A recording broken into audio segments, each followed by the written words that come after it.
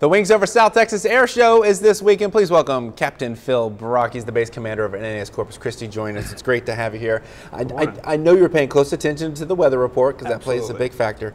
Thousands of people uh, new this year, vendors, uh, food trucks. Right. What makes this great though is the Blue Angels, and Always. they get to fly over the water. Explain how this works, how it all comes together. So it's a great opportunity. The Blue Angels are always impressive. Uh, like you said, we've got 25 food trucks. We've got a bunch of civilian acts. We do it out on the north side of the base, right on the seawall. Mm-hmm. So you get right up on the water's edge, and the show is actually out over the water.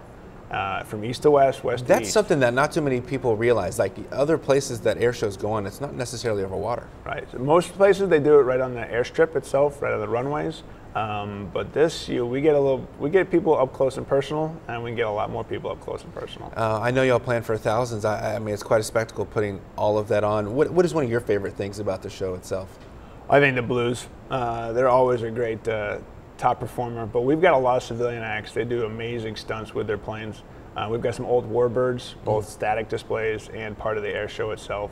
Uh, there's been a lot of great work going into this. We look to get everyone safely and securely onto the base, show them a great show, and then uh, get them home. We'll have some of those safety protocols, the things you need to know on our website at KIIITV.com. Um, I understand there'll be uh, some pilots that have been in other wars that'll be here to visit with some of the people. Is That's that right? true. We have a retired colonel from the Marine Corps. He's uh, he was he served both World War II and in Korea, so he'll be in town with us uh, this weekend.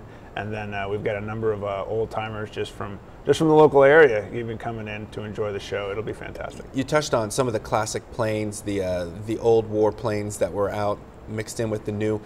Do y'all give any hints as to what the future may hold, or is it you just based off of what you see and you can imagine where things might be going?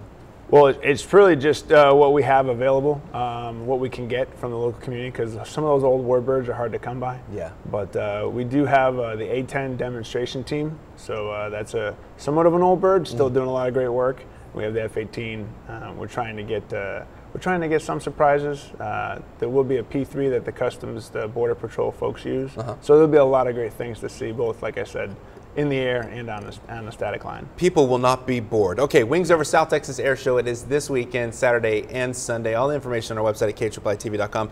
Uh, Captain Brock, thank you for all your service to our country, oh, to pleasure. here in the Coastal Bend. We love having you guys here. Thank you so much. My pleasure.